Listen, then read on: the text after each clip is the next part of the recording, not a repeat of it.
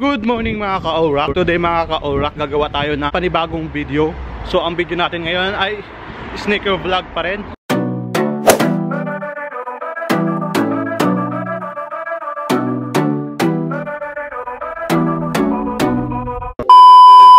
So merong lalabas ngayon na bago sapatos yung Yeezy Yesreel at saka Jordan 11 Bread So tingnan natin doon sa matindahan kung hit ba siya o hindi. Kasi nagbi-bricks yung mga nagbi-bricks yung price niya sa market. So I think hindi siya kagaanong ka-hype. So yeah, pero tingnan pa rin natin doon sa store. Pupunta kasi ako doon sa ano doon sa uh, Shensu store kasi nag-post na sa Instagram na kapag kapag bumili ka ng Yeezy, dapat nakasuot ka rin ng Yeezy. So ang suot ko ngayon ay yan, Suot ko yung paborito kong Yeezy. Ayan. Yan yung paborito kong Yeezy na Yeezy Butter. So, yeah, laspag na laspag na to kasi pinang harabas ko to kasi paborito nga. So, yeah. So, papunta na ako metro. Sana may train na. Kung wala, maglalakad pa rin. Oh my God. Bad trip guys, walang train. So guys, on dito na ako sa bus stop. 8 minutes dadating yung bus pero ang hirap lang dito guys kasi nga uh, siksikan yung bus kasi walang tren. So grabe kahirap dito ngayon sa Paris dahil nga sa grieve na nangyari. So guys so andito na ako sa malapit sa, sa store sa Shinso at sa, sa Opium. Yung Opium andyan lang. And then yung Shinso nandito sa gilid. So yeah tingnan natin kung ano kung may mga tao ba doon pumila o wala. Hindi kasi to hype. Kung hype to guys patayan to. Kaso hindi siya hype. So easy cup. Andito na ako sa tindahan guys. So wala masyadong tao. Nasa mga nasa mga walo lang kami dito. So pero hindi na ako kukuha. Kasi nga na, nanalo ako sa raffle. So yeah. So tinitingnan ko lang kung ano meron dito. So yan. Walang gulo. Easy cup so guys so andito ako ngayon sa opium. Ayan. So first come first serve din dito. Nag install sila. Kaso walang taong pumila. So ayan. Easy cup kung gusto nyo bumili. Ayan. Meron pa silang bloodline. At saka yun yung concord. Uh, con I mean eh, ayun yung bread. Sitting like a duck. Easy cup kapag nandito ka sa Paris pero sa Pinas sold out. Napaupo na lang ako kasi nga walang tao so easy cup kung gusto mong bumili.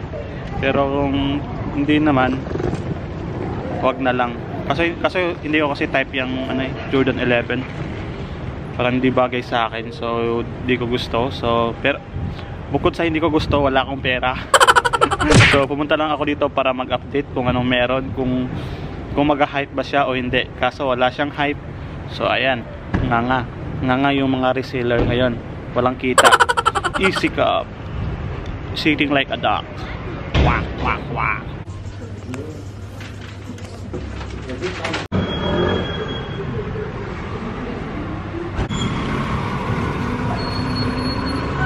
So guys, umalis na ako doon. So papunta ako doon, papunta ako sa La Défense.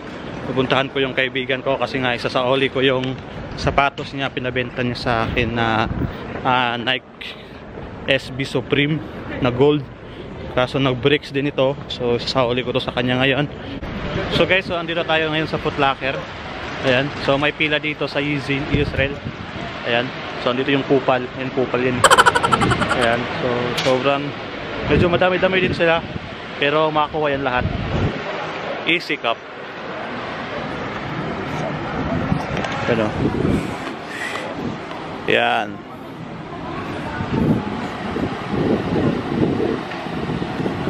Ano? Raffle?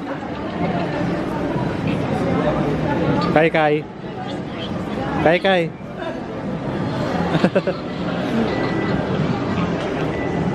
Sold out. Sold out or hold out.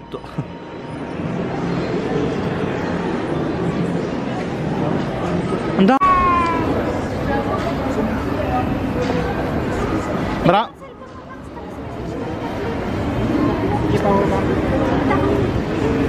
Da.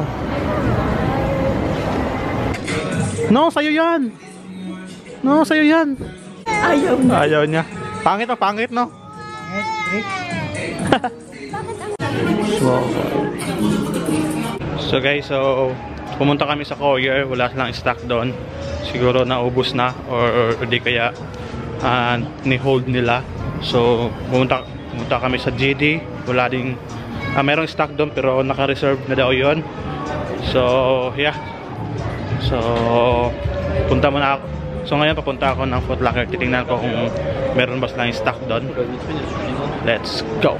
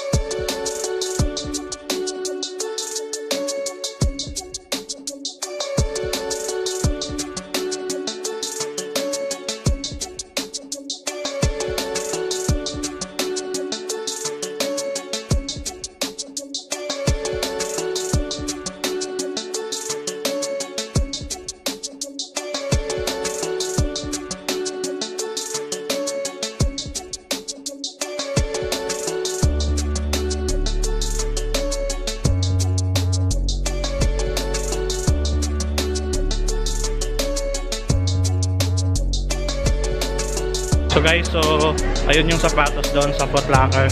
So Jordan 11 lang yung meron doon, tsaka yung Jordan 1 na Bloodline andun pa rin. So full size run pa rin, ang daming size pa natira. Yeah, so no hype talaga sa mga shoes na yon. Pag dito sa Paris France, pero ako sa Pinas, sold out yun lahat. So guys, so andito ako ngayon sa Shinso. Ito yung pinakamagandang store dito sa place guys. Mag-video lang ako kasi may sounds. Bye.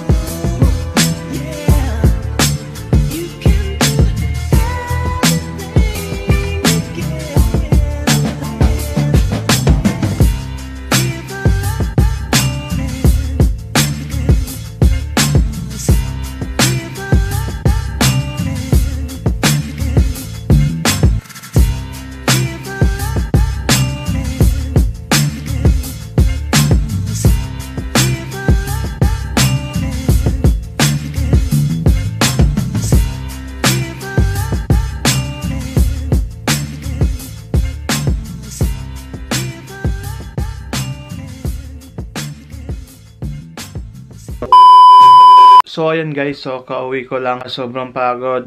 Ang dami kong nilakad ngayong araw na to. Nakita nyo naman sa video kung saan ako pumunta, kung saan saan. Gusto ko lang i-update yung mga nilalabas ngayon kung nag-hype ba siya o hindi. So para sa akin, hindi siya nag-hype. Lalo na yung Jordan 11 bread, hindi siya hype dito sa Paris. Yung Yeezy, medyo hype konti. Yung mga small size, yung mga GS size, sold out yon 9 pataas parang meron pang available o 9 pababa wala na. So yun lang yung masabi ko at saka ma-update ko sa mga lumabas na sapatos ngayon. So sa mga nakuha congratulations sa inyo kasi nakuha nyo, nakuha nyo, nakuha nyo yan retail.